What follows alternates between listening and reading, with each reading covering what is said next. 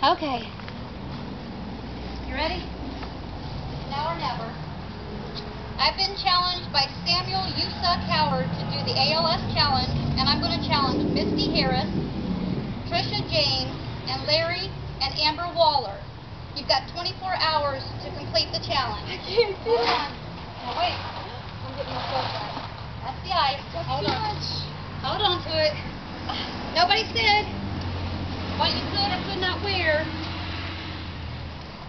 So rules are no rules.